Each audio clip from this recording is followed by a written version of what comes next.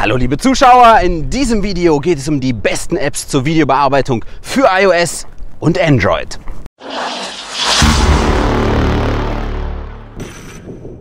Ich bin Fabian und wenn ihr auch in Zukunft jede Menge nützliche und praktische Tipps bekommen wollt, dann vergesst bitte nicht diesen Kanal hier zu abonnieren und die Glocke zu aktivieren.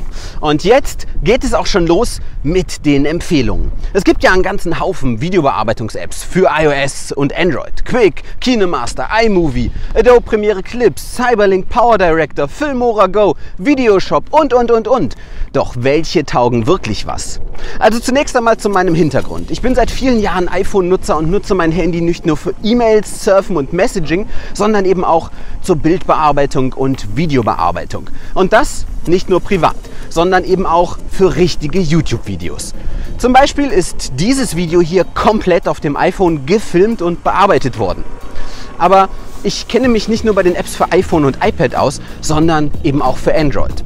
Erst kürzlich hatte ich für mehrere Monate ein Samsung Galaxy Note 8 in Nutzung, musste dann aber feststellen, dass die Apps zur Video- und Bildbearbeitung für Android qualitativ nicht an die Apps für iOS herankommen. Nur als kleines Beispiel.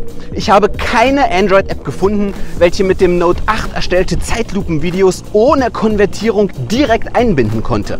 Generell habe ich wirklich viele Apps ausprobiert und auch bei vielen Apps aufgegeben, weil mich die Benutzeroberfläche abgeschreckt hat. Ich die einfach nicht einfach zu bedienen fand oder weil diese bestimmte Funktionen nicht unterstützten oder man einfach ewig für die einfachsten Dinge brauchte.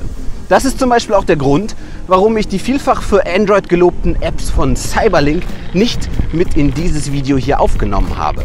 Also wundert euch bitte nicht, wenn hier einige berühmte Apps nicht auftauchen, denn die Apps hier in diesem Video sind meine persönlichen Favoriten und Empfehlungen aufgrund meiner Erfahrungen, die ich gesammelt habe. Und jetzt geht es auch los. Platz Nummer 4, CuteCut. Auf Platz Nummer 4 kommt bei mir CuteCut, welches kostenlos für iOS und Android verfügbar ist. Für 6,99 Euro kann man CuteCut upgraden und eine Version ohne Wasserzeichen und mit unbegrenzter Videolänge freischalten. CuteCut ist ein erstaunlich vielfältiges Videobearbeitungsprogramm mit mehreren Spuren, das mir auf Android mit Abstand am besten gefiel in Sachen Bedienung. Ihr könnt CuteCut im Hochformat nutzen sowie im Querformat. Außerdem unterstützt die App verschiedene Videoformate wie quadratisch, 4 zu 3 und 16 zu 9. Die Bild-in-Bild-Funktion wird ebenfalls unterstützt und das Besondere an CuteCut sind wohl die vielfältigen Möglichkeiten mithilfe von Pinseln einfach auf das Video zu malen bzw. zu zeichnen.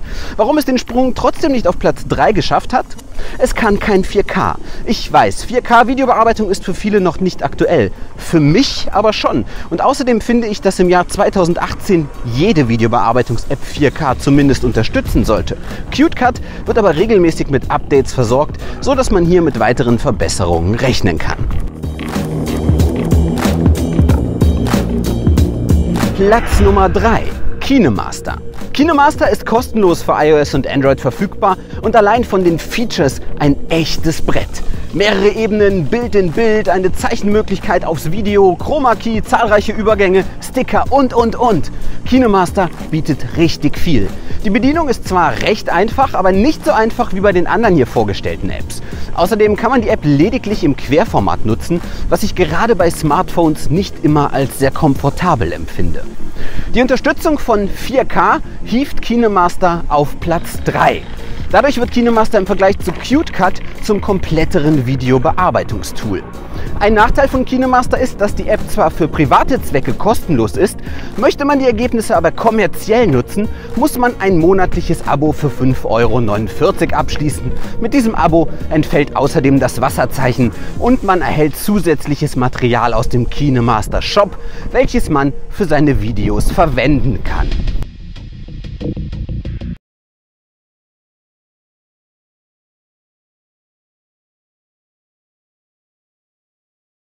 iMovie. Platz Nummer 2 geht für mich ohne Zweifel an iMovie für iOS, welches kostenlos für iPhone und iPad verfügbar ist. Ja, es ist nicht ganz so umfangreich wie auf dem Mac und es unterstützt auch kein Greenscreen. Dafür bietet iMovie mehrere Ebenen, eine Bild-in-Bild-Funktion, automatische Übergänge und tolle animierte Titel. In Sachen Bedienung macht iMovie zudem niemandem etwas vor. Mit simplen Touchgesten und durch einfaches Ziehen und Drag and Drop werden auch größere Projekte zum Kinderspiel. Fotos werden automatisch mit einer Ken Burns Animation versehen und Zeitlupenvideos automatisch verlangsamt eingebunden. Man kann iMovie zudem im Hoch- wie auch im Querformat benutzen und es bietet 4K-Unterstützung. Dazu top ist die App für iPhone und iPad optimiert. Toll ist auch, dass ihr Projekte auf dem iPhone oder dem iPad beginnen und dann einfach auf dem Mac in iMovie oder Final Cut Pro fortführen könnt. Aber einen großen Kritikpunkt möchte ich trotzdem an Apple weiterreichen. iMovie für iOS wird von Apple total stiefmütterlich behandelt. Mal abgesehen von kleineren Wartungsupdates hat sich bei iMovie seit Jahren nichts Wirkliches mehr getan. Umso peinlicher ist es eigentlich für alle anderen Hersteller, dass iMovie auch heute noch eine App ist, an der sich alle anderen Videobearbeitungsprogramme für Smartphones und Tablets messen lassen müssen. Also bitte Apple, gebt mal ein bisschen Gas und lasst diese tolle Software nicht verkommen. Auch nach einem halben Jahr gibt es beispielsweise immer noch keine Anpassung von iMovie für das iPhone X. Dafür, dass es sich um eine offizielle Apple-App handelt, finde ich das doch etwas peinlich.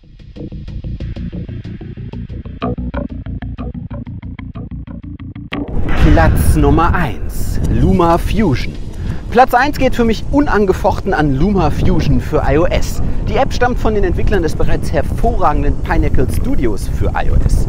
Luma Fusion ist sozusagen der Nachfolger von Pinnacle Studios und macht richtig Spaß. Die App ist mit über 20 Euro nicht billig, dafür bekommt ihr hier die mit Abstand beste Videobearbeitungs-App für mobile Plattformen.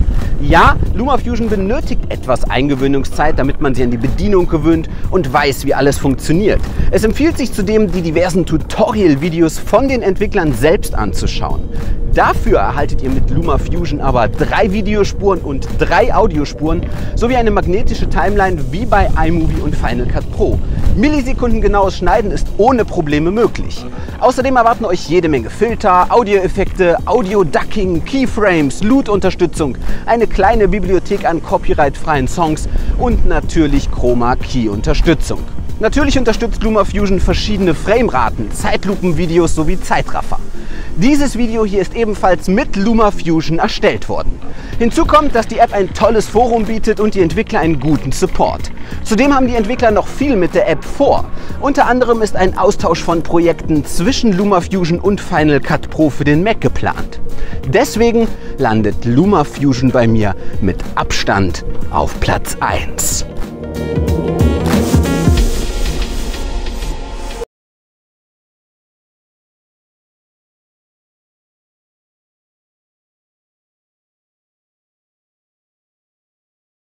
Bearbeitung macht man ohnehin nur auf einem richtigen Rechner.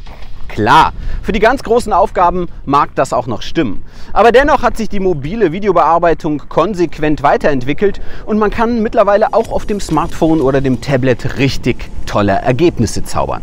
Insbesondere wer sich keinen teuren Rechner leisten kann, unterwegs was bearbeiten möchte oder einfach abends im Bett, findet mit den hier vorgestellten Programmen richtig gute Möglichkeiten dazu iOS-Nutzer allerdings deutlich bessere als Android-Nutzer. Und Luma Fusion möchte ich hier wirklich nochmal besonders hervorheben, da es wirklich eine ganz, ganz hervorragende App ist.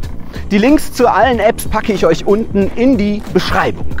In kommenden Videos werde ich zudem die Bedienung von iMovie und LumaFusion genauer vorstellen.